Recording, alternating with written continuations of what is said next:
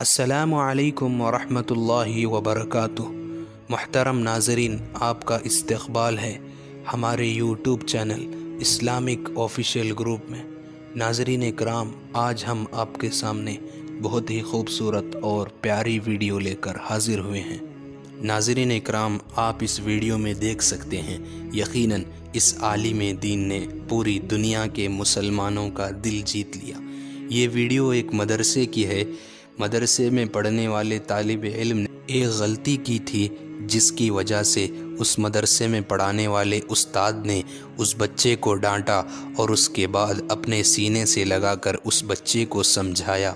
नाजरीन कराम इस वीडियो को लोग बहुत ही ज़्यादा पसंद कर रहे हैं और आप इस वीडियो के मुतालिक क्या राय रखते हैं? आपको ये वीडियो कितनी पसंद आई? हमें कमेंट करके ज़रूर बताएँ। और हमारे इस वीडियो को लाइक करें, शेयर करें और हमारे चैनल को सब्सक्राइब करें। अस्सलाम वालेकुम